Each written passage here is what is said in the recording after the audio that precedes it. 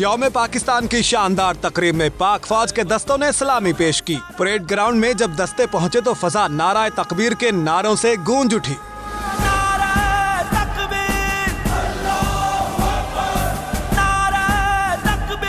शानदार परेड में अल खालिद टैंक के स्क्वाड ने मार्च पास किया तो टैंक की गरज ने गोया दुश्मन पर सकूते मर्ग तारी कर दिया। अल जरा टैंक सलामी के चबूतरे के आगे से गुजरे तो शुरका ने भी नारे लगाए और तालियाँ बजाई।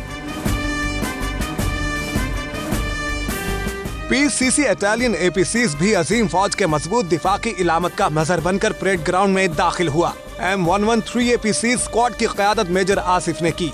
आर्म्ड कोर के दस्तों ने मोजिज मेहमानों को सलामी दी। मार्च पास में हैवी मशीन गन के दस्ते ने भी हिस्सा लिया, जिन्होंने दहशत गर्दों के खिलाफ ऑपरेशन में नुमाया किरदार अदा किया। इसी तरह मीडियम रेंज गन्स 120 किलोमीटर तक मार करने वाले मल्टीपल रॉकेट लॉन्च सिस्टम दस्ते की क्यादत कैप्टन राना खुर्शीद ने की। 240 किलोमीटर दूर से दुश्मन की हर चाल पर नज़र रखने वाले रेडार सिस्टम भी शुरा की दिलचस्पी का बाइस बने। हाल ही में पाक फौज के हवाले किए गए एयर डिफेंस सिस्टम की भी नुमाइश की गई ये एयर डिफेंस सिस्टम मुल्क दिफा में एक अहम संग मील है। इसी तरह पाक आर्मी इंजीनियर्स के दस्ते ने भी मार्च पास किया, जो दौरान जंग पुल की तामीर करता है। नसर मिसाइल सलामी के चबूतरे ऐसी गुजरा तो शुरा ने तालियाँ बजाई।